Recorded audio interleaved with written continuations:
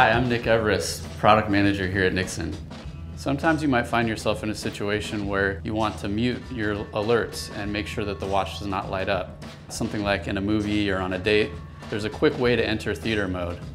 A quick double tap of the pusher will put it into theater mode.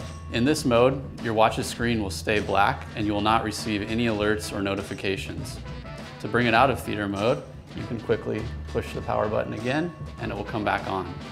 Another quick shortcut that you might find useful when outdoors in bright sunlight is the ability to quickly make the watch screen super bright.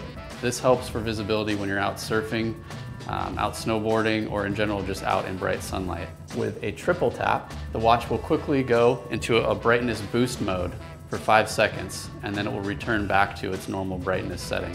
This is really helpful for full sunlight conditions.